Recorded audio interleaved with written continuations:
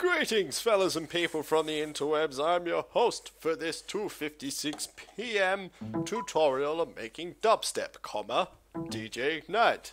I'm not really a DJ, but neither are you, so whatever.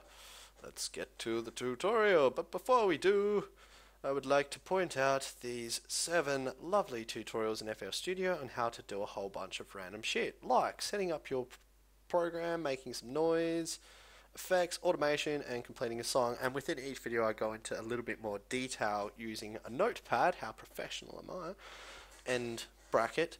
Um, on yeah, just more in-depth information about what we do at the beginning of every uh, tutorial, and also at the end, I go on to what's happening next, so you know what's going to happen. Um, the reason why I'm pointing this out is because I get an abundant amount of um, comments from people who ask me really basic questions. Uh, I can't really think of any basic questions from the top of my head, but uh, yeah, most of which I don't reply to simply because they're so basic and also they're usually pretty difficult to answer using just text. Like heaps of people ask for help in doing this, or they don't know how to open up a plugin. Just really basic questions like that.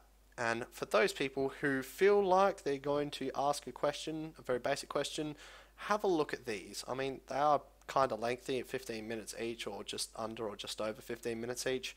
But um, if you have questions like that, that means you don't really know the plugin, uh, FL Studio that well. So this would benefit you anyways if you watched all or some of them whenever you have a question. So I highly recommend you case them out because they will help you. You will learn a lot about the program because I do go into detail, a lot of detail, as to how certain program or how certain plugins work, um, how so and so works, and all that sort of shit. Um, you know, but that's two minutes of this tutorial gone, and as you can tell by this splash fucking screen overlay thing of bandicam.com up at the very top here, I'm using another program instead of Fraps called Bandicam. And this is an unpaid version. It gives me 10 minutes of recording before the recording stops and I have to start it again. So I'm just going to try and fit this entire thing within that 10 minute bracket. So let's stop having a look at these and have a look at some of. Oh, look, there's another one. Expanding your VST plugin collection. Uh, here we go. Alright, sorry, clearly this is unrehearsed, even though this is like the fifth attempt. Um, yeah, so if you're watching this video, chances are you're well aware of my how to make dubstep in FL Studio tutorials, um, most of which use Sytrus, also Harmor, and also the latest one, which is how to do it in uh, using FM8. Sorry, not in FM8, but how to use FM8 and create a dubstep bass wobble. And you guys are still keen to work out other methods. So here is a fourth plugin. It's a F, it's an image line core plugin, which means it comes with any version of FL Studio that you purchase. Uh, I'm pretty sure it even comes in the demo version as well. And it's a very, very basic plugin. This is it here. It's called 3xOSC. Now to open it up, you just right click, insert or replace. Chances are you want to insert, not replace instrument, and there it is, 3xOSC. And this is what it looks like and sounds like when you first open up the plugin. Sort of sounds like an organ. Now, let's have a look at this a bit further. We can see that we're using three oscillators and each oscillator has the ability to change its wave shape. And we also have an amplitude modulator here and the phase randomness for that. I'm not really sure exactly what that means. I'm just reading the description up in this uh, information bar here as you put your mouse over it. See how it changes. But um, yeah, this is actually not a bad plugin. You can make some really cool sounds with it, most of which are quite gritty. So most of pe- most of you will enjoy that when you try and create your dubstep.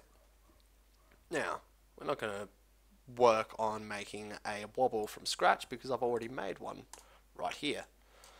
So, we've got first and third oscillators inverted. That's what this little box does. The second one is not inverted. First oscillator is using a sine wave. The second one is using this weird sort of like hybrid sine wave and square wave. And the third one is using a sawtooth. Now we've got a number of knobs and parameters for each oscillator, like the stereo phase offset, the, detune, the panning, the coarse, which is just the um, transposition, so you can go down 12 semitones, and that's down an octave. 12 semitones is one octave, whether it be minus 12 or plus 12. That's up an octave, and that's up two octaves, and that's the maximum. And then you've got your fine tune in cents. And I'm not too sure, but I'm pretty sure 100 cents is uh, one semitone or something like that. I'm not entirely sure. I don't really know much about the music theory of these things, but I still make music anyways. How about that? Um, yeah. So I've made a very basic uh, bass.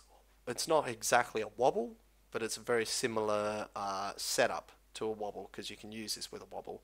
Um, we've got our automation here with a fast LP, which dictates the grittiness of the wobble, and also in channel 2, which is what this plugin is uh, wired through, we've got an overdrive, fast LP, a reverb, Soundgoodizer, and a filter.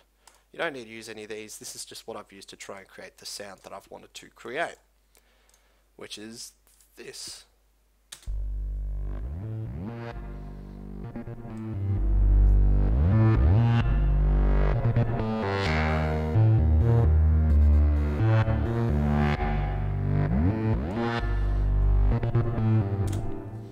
And that's yeah, that's really it. That's most of the tutorial done. Um, you can see I've got a first oscillator here, which in pattern 2 you'll see has a nice little video game sound to it. Whoops.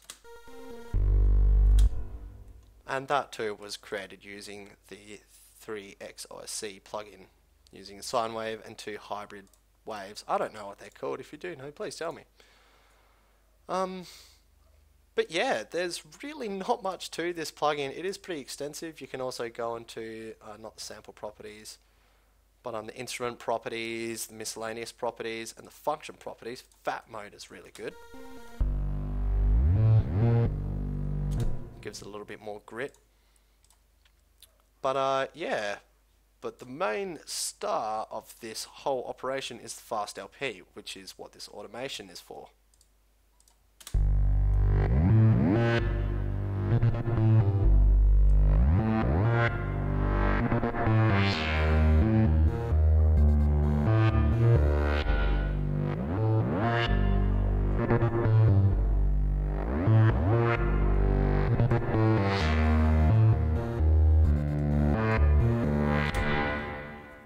And you could simply, easily just uh, make this wobble. So that's essentially a wobble right there. Wow, wow. And uh, you can make it as fast or as slow as you want or whatever time. And uh, yeah, that's pretty much it. Um, as I said before, this isn't going to be a super duper tutorial. This is just uh, a discovery of mine. A lot of people have probably discovered 3XOSC. But uh, just for the sake of my tutorials, I thought I'd slap this in just so you guys know that there is programs out there, very simple plugins, uh, not programs, sorry, plugins, that can achieve some pretty nice sounds, and uh, it's a core plugin, so it comes with any version of FL Studio.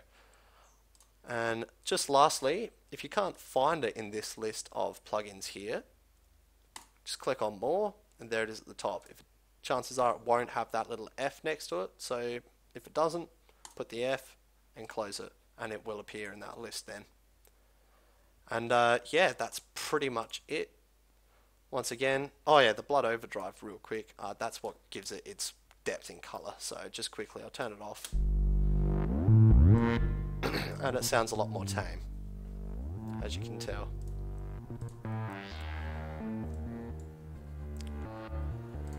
Alright, well that's pretty much it for this tutorial. We're about to hit the 10 minute mark, so Bandicam is going to stop recording anytime.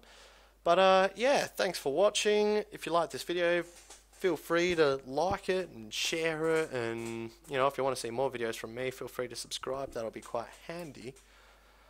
And uh, yeah, start making some fucking nice dubstep for me and send send it as a video response if you want. I'll case it out and tell you what I think. And that's pretty much it for this tutorial. Very basic, very short and sweet. Like I said before. Um, yeah, 3XOSC, give it a go and let me know how, how you went. Alright, cheers guys, I'll see you again soon.